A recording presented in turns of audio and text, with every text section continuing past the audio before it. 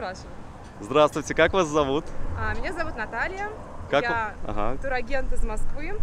Приехала сюда не первый раз уже в этот регион Бодрум, а, Дедим, но а, как бы отдыхаю я сама первый раз, обычно я по работе смотрю отели, а, вот, и была очень приятно удивлена, то есть мы когда ехали, думали, что ну как бы средненький отельчик будет, новая пятерочка, будут какие-то там недоработки, но это просто супер бомба, реально, потому что я работаю более 15 лет, и такого уровня как бы сервиса, питания реально нет даже в делюксовых отелях, то есть там, которые стоят там больше, чем 200 тысяч рублей, допустим, на неделю.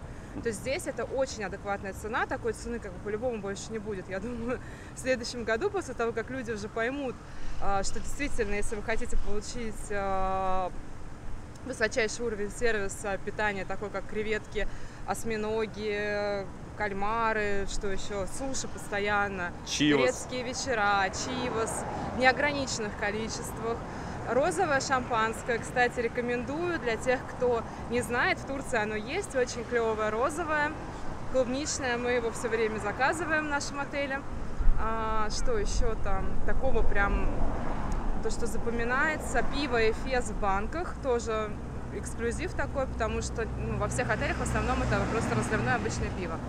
Турецкий кофе и кофе зерновой тоже это фишка, потому что все привыкли сейчас свежевыжатый, ой, свежесваренный кофе а, пить, и когда приходишь в отель, тебе наливают на, на кафе из автомата, это вообще как бы, да, уже не, ну, не котируется.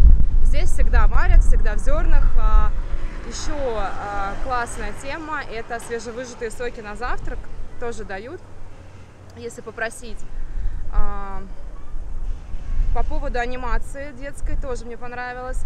А, Там м, для детей такие большие панды и робот ходят, а, прям огромные, они с ними танцуют, фотографируются. Детям вообще очень здорово, они визжат, пищат, обнимаются с ними. Понравилось нам фаер-шоу, тоже суперское было. А, По поводу пляжа, да, ну как бы сначала первое впечатление, что между пляжем и отелем дорога а, немножечко напрягает, но потом как-то забывается все это, через подземный переход быстро спускаешься. И очень пологий заход аккуратный, то есть для детей тоже здорово, там куличики, все они на берегу сидят. А, на пляже сейчас пока нет бара, но он будет. А, Соответственно, возможно, вот этот остров тоже, а, если там все получится, а, отель его, мо- может быть, там арендует или выкупит части, там сделает бич-клаб какой-то. Поэтому, по сути, я считаю, что это находка для шпиона. Не просто так, не только мы турагенты, еще тут есть турагенты из Вологды, из Москвы есть тоже очень э, наш знакомый, хороший, у которого на Инстаграме большой блок подписчиков. Поэтому все мы тут отдыхаем, и, и все мы в восторге. А, Я думаю, что любому туристу понравится, тем более, что локация очень выгодная.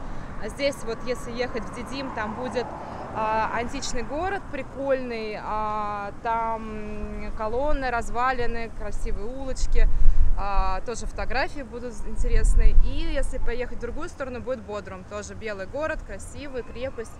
В общем, я советую всем побывать обязательно в Максере и Блюде Дима. Спасибо.